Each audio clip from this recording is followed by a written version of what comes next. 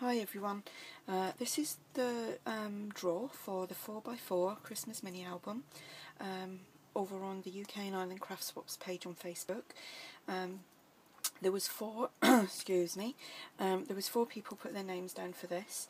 Um, I'm not one of them. I was a bit sad because I wanted to do this too. So if anyone would like to do do and double up, um, and be a partner with me, that would be great. But if not, that's cool, not problem.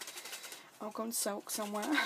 um, so there was Janet, uh, that's Janet Stokes, and there was uh, Louise, who's Loopy Lou, and Julianne Farmer um, Howlett, and Tracy Herford Fury. Just making sure I got these names right. Okay. So we have Tracy here and your partner is Judy Ann Farmer Howlett.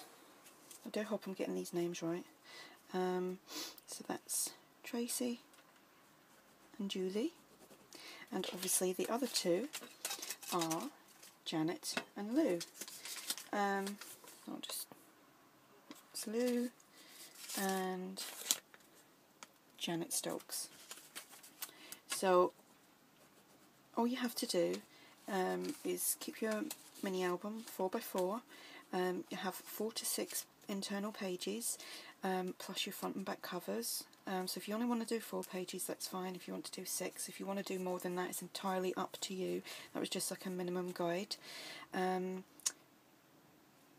You can bind it however you like. If you've got the binder tool or you want to do um, like a hinge binding or use ribbon or hair um, hairband um, binding entirely up to you. It's what you you know what what you prefer or what you have to hand. Um, this has got to be posted um, to your partner on the 1st of October. So that gives you um, gives you just 10 days and contact your partner for postal details. Um, and like I said if anyone wants to kind of double up and do uh, do a swap with me on one um, I would appreciate that. But if not no worries. Um, I hope you're all having a good day and I'll speak to you all soon. Bye